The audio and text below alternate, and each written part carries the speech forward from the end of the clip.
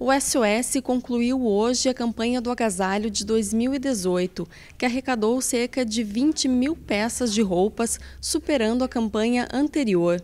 Esse ano achei que foi um pouco melhor, porque nós tivemos parcerias melhores e mais parcerias.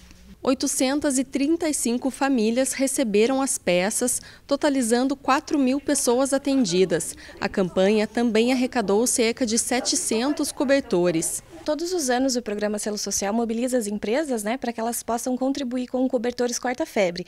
Então, a parceria do Selo Social com o Serviço de Obras Sociais é que as empresas se mobilizem e doem os cobertores. Então, nós mandamos e-mails para todas as empresas e elas aderem à campanha entregando os cobertores que são entregues aqui na, na sede né, do, da Secretaria de Assistência Social todas terças e quintas. Esse ano nós conseguimos aí mais ou menos 700 cobertores através da parceria com as empresas né, do Selo Social e é, a gente gostaria até de agradecer as empresas que sempre se mobilizam estão é, participando, que a gente consegue ajudar bastante gente aqui na, na assistência social.